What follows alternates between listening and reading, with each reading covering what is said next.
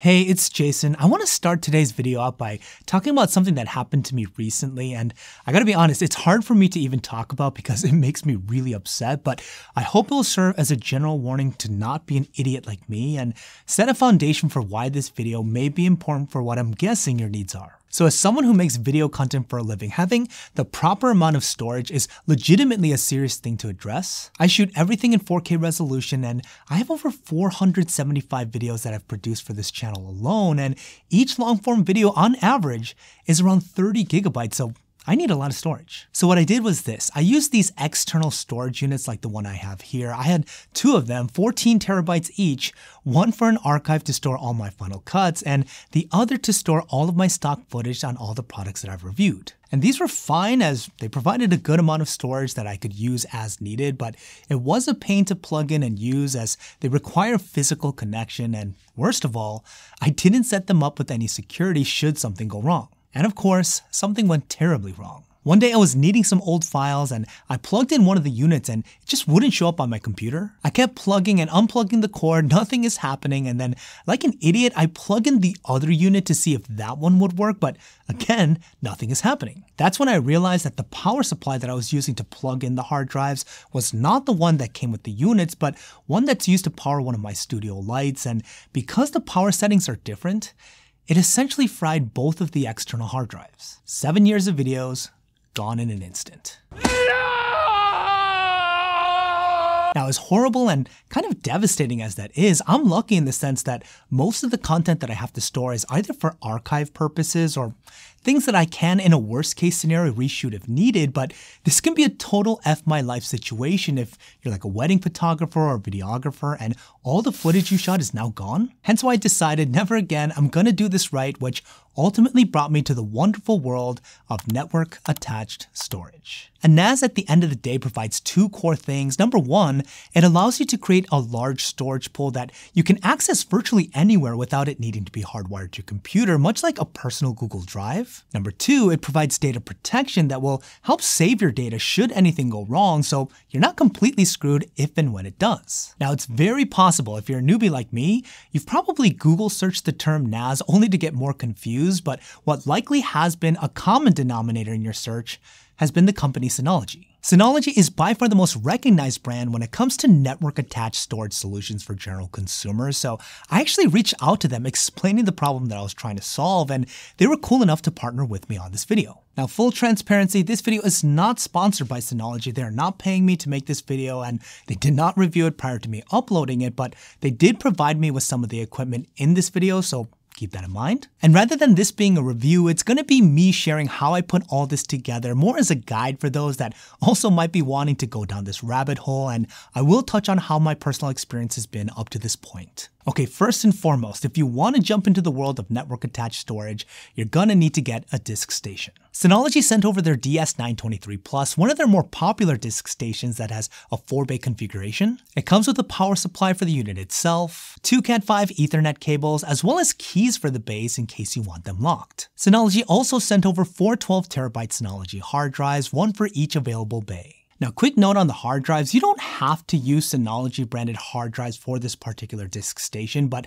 Synology did say that their drives are specifically designed and optimized for their hardware as they're vigorously tested for reliability and optimized performance, and they do come with a three-year warranty should anything go wrong, so Keep that in mind. Now installing the drives is probably one of the easiest things ever. You can easily pull out the trays in each drive bay and the trays themselves are completely toolless so all you have to do is remove these two clips on the side. You're going to slide the hard drive into the housing and then snap the clips back on. And once you do that, just go ahead and slide the now filled housing back into the unit. Now a few things to note, the Synology DS923 Plus also comes with two slots on the bottom of the unit that can be used for NVMe SSD drives. These are drives that are way faster than traditional SATA hard drives, and these could be used for two different things. Number one, they could be used for something called SSD caching, which basically helps accelerate the read and write speeds of the unit, but not for actual storage. Now, the second way that you can use these drives is for actual storage, but there's a catch. For the here and now, the only NVMEs that will allow this capability are NVMEs that Synology makes. Again, this is because Synology drives have been optimized for this unit and designed to support direct storage, while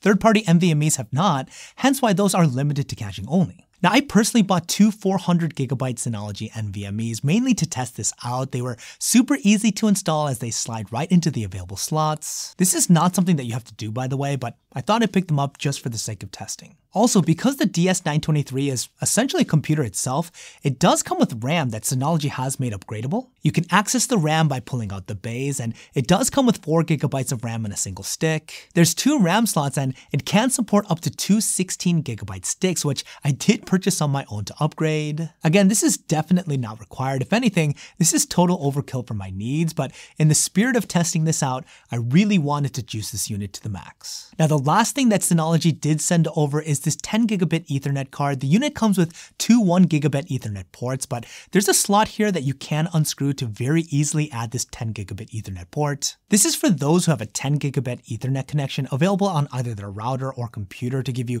significantly faster data transfer speeds. I personally don't have a 10 gigabit connection, but it is something that you can easily attach if you have one. And real quick, if you're finding this video helpful, can you do me a favor and press the like button and definitely consider subscribing if you haven't already. Okay, so after getting all the drives and optional upgrades installed, you next have to set up and connect the server to your computer. Now there's two ways to do this. You can directly connect the DS923 Plus to your computer via Ethernet connection if you want to, but if you want that Google Drive type of capability where you have essentially your own cloud storage, you need to connect the DS923 to your network. Now when I was watching videos on how this actually works, virtually everyone that I would watch would skip over this detail, but all you have to do is take the Ethernet cable and plug it into one of the ports on the disk station and then connect the other side to your router. I have a mesh router with these extenders that have gigabit ports built in on the back, super convenient because my main router is all the way upstairs. But this is how the DS923 will make all the hard drives that you just installed